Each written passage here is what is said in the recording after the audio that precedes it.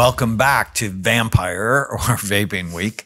Um, in this podcast, we're going to go through what's brain in the news. You know, what are the interesting articles that Tana and I have picked out uh, about the brain uh, that has been in the news? But before we do that, I have, have, an amazing review. This is actually, um, it's a little long, but it's so great. I just have to read it because we love success stories. We always say, please leave us your success stories. Go to brainwarriorsway.com, leave us your success stories because they are our payment. That's our, that's our joy juice Okay, so my daughter's rating was 25 out of 27 on the depression scale. She was contemplating suicide every day. She had been in and out of two psych facilities. She had tried about 10 different antidepressants. Nothing was helping her. But Dr. Grin saved her life, all in caps. He took two plus hours to review the brain scan and other tests that were done, and he came up with a plan that is working for her. We love Dr. Grin, side note. He listened to her and he laid out a plan of therapy, antidepressant meds, supplements, and vitamins that has changed her life. She is now back at college playing the sport that she loves. She's happy again. She's interacting and laughing with her friends and teammates. She has a sense of purpose and she is living a normal 20 year old life. My husband and I felt like a 20 pound weight was lifted off our shoulders. We didn't know what to do and who to turn to. Dr. Grin talked to us, not down to us. He explained why she needs these meds and vitamins. My husband especially needed to hear this reasoning. He does not understand depression. He thought she just needed to think positively, get out of bed and do something you enjoy. This will pass. But depression doesn't just magically go away. Dr. Grin's plan was very specific, and he had reasons behind every part of the plan. My daughter and husband's relationship has been repaired. Mm, it's gonna make me cry. I know this will be a journey with ups and downs, but we are on the right path. As somebody who had depression, it's really hard when someone tells you snap out snap out of it because it's not possible and then that just demoralizes it's so painful more okay. right because people don't see it as a medical problem they see it as a moral yeah problem so, congratulations. This is by Christy Z. That's why we do what we do. Um, all right, brain in the news. The statistics show online bullying increased among teens and tweens 3.5% since the 2014 15 school year. Cyberbullying is on the rise uh, Why? A 12 year old was an all American girl before suicide. Oh my God. And you have to ask yourself why? Why? What makes kids want to be that mean? I know there's I know that you, we talk about hormones and how 14 to 16 is the meanest time in a, in a kid's life. That's when they're the meanest. But you just have to ask yourself, why don't they realize that they're being so mean, they're ruining someone's life? And, and Mo, by the way, it doesn't stop when they're teenagers. If you, like, even on my social media, because we have public platforms, we get really mean stuff on there. But the difference is I don't care at this stage. At this stage of my life, at this age, I just block people. I don't let them, I just will not let them be on my sites.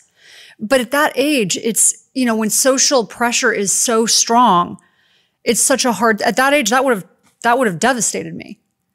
And if you don't have a close, in fact, it did devastate me. We just didn't have social media. right. So you imagine, right? If people said that and all of a sudden not only everybody in the school knows but not everyone everywhere. it, but everyone everywhere and you often feel like there's an avalanche mm-hmm. of hatred and you don't have the skill set to understand that it doesn't really matter? Um, you don't have that skill set yet? Well and we have an issue coming up uh, you know our nine-year-old niece wants a phone Mm-hmm. And so, when do you need a phone? She was already cyberbullied. so, it was crazy. Nine years old. And someone posted something about her on the internet. It was just crazy. And, and I, don't, I don't even think the other child understood how mean it was, but how hurtful it was. That's one of the problems. I don't, maybe we need to do a better job of educating our kids on how much certain things can hurt other people because um, I don't even think she realized it, but it was really devastating. But putting those parental protective apps on the phones and and some little kids we actually want them to have phones right because they have GPS devices. We can track them. or they they have no choice. They have to there are some kids um, there are parents who share custody. There are parents who have to work okay? There's just not a choice. They need to be able to reach their kids or sporting events. I mean there's a lot of reasons. We're not one of those we aren't people who are just like oh you should not give your kids phones. Yeah don't give them phones until you have to. But there are people who have to. Right. And, but, um, so what are things parents can do about cyberbullying? Watch out for changes in behavior. If kids are being mm-hmm. bullied, they'll begin to want to avoid school, mm-hmm. sports, and other activities. And if you don't have a good relationship with your child, your child is not going to tell you Right. about what's going on. That's why when we talk about special time and active listening, it's just so important to protect them. So if something is going wrong, you know about it. Um, be in front of the conversation, educate your kids about bullying what it is, how it manifests, how to seek out resources at school and other places. And what I've seen is many schools, they get on top of it right away. and many of them do big- not But because it is now such a big issue that that they're better. Log any incidents with this school. When a bullying incident occurs, it's important to log it with the school. Um, should it escalate, the log is evidence of Right. the complaint. And and so, So one thing I'm a big fan of because I have actually known several incidents now where the school really didn't do anything. Um, I'm a big fan of sending emails so it's in writing. So now they know about it. There's some liability there on their part. Um, sorry, but that's just how I, my brain works. It's like you need to do your part, but get the school involved because your kid spends eight hours a day there. So get them doing their part. So, some other tips from another article um, on cyberbullying. Um, schools already deal with bullying through anti bullying policies and procedures. We had none of that when we were growing up. Um, but as a teacher or school staff member, some of the things they can do support, provide the person being bullied with support and reassurance, tell them that they did the right thing by telling, right? Those of you who keep secrets, these secrets can actually be deadly. It's like if somebody tells you they're going to kill themselves, you have to tell other people. Yeah. Um, even though they said, oh, please don't tell anybody. Evidence. Help the child keep relevant evidence for investigations. This can be done by taking screenshots or printing web pages. Do not allow the deletion of phone messages. Inform, give the child advice for making sure it does not happen again. This can include changing passwords, contact details, blocking profiles. I cannot tell you the number of people who, for 14 year old, they're being either bullied or enticed Yeah. by adults Yeah. that are pedophiles. Yeah, that happened uh, actually to us on one of Chloe's acting profiles. Um, no retaliation. Ensure that the young person does not retaliate or reply to the messages, right? I mean, because both of us have been cyberbullied, that our first instinct is to say something wicked or nasty back. Right. And and what we found when people do that in a public forum, Other people do it for you. that our fans, our brain warriors will go and respond. Um, so don't retaliate. Privacy, encourage a child to keep personal information private and investigation. The cyberbullying claim needs to be investigated fully. If the perpetrator is known, ask them to remove offending remarks, but all records should be kept.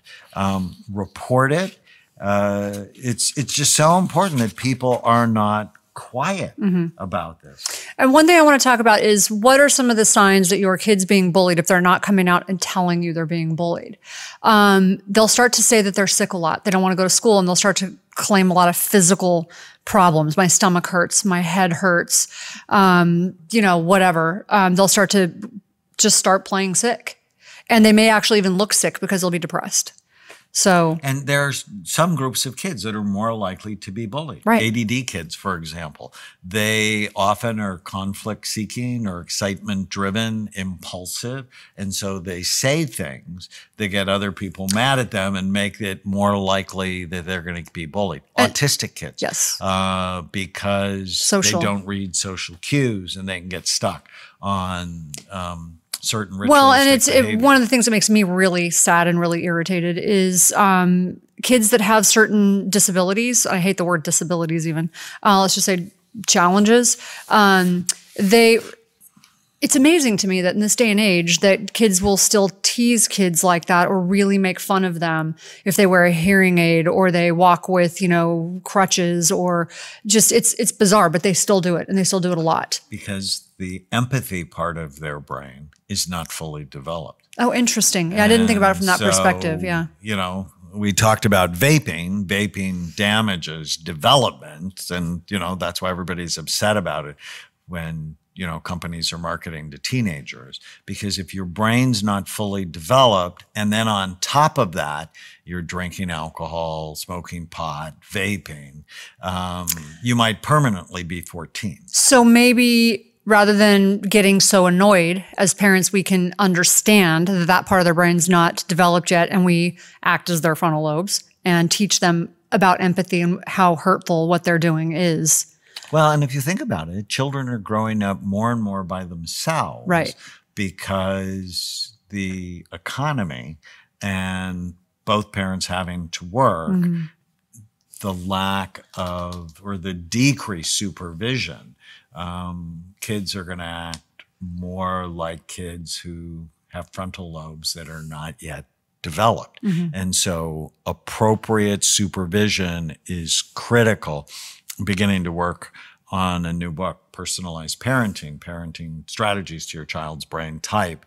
And supervision is so important. And, and sort of the hallmark thought of the book is you need to be your child's frontal lobes until theirs develop, Right. which is longer than we thought. So, two things that we've taught Chloe um, when something's not going well, or she's not doing well at something, or even in this situation, um, we want her to step back and, and ask herself, what can she learn from it and what can she do to make the situation better? Be in the solution. So, to be in the solution, what can I do? We want to empower her to have a solution rather than feeling like a victim. Um, and the other thing that I always teach her is, what can I learn? What can I be grateful for? What can I be thankful for? Now that's really hard to do when someone's bullying you, right? But if you can put yourself in that mindset, even if it's a hard thing to answer, even if it's something tiny, it just takes you out of that negative victim mode and just it puts you in a more resourceful state. And we've taught her that since she was little. Well, we have so many other brain in the news things to talk about, but we're running out of time. That was so a we'll good one, save though. them for next week. We should probably have bullying week or how Yeah. to deal how to deal with bullies. And they're bullies, not just At work? teenagers. No. They're clearly bullies in medicine. You know, I've been bullied a lot. and you know, I don't hang out with people who um, Right. But sexual harassment is a form of bullying. I mean, there's there's all kinds of Right. bullying. So we'll, we'll have a we'll do a bullying week. All right. So what did you learn? Post it.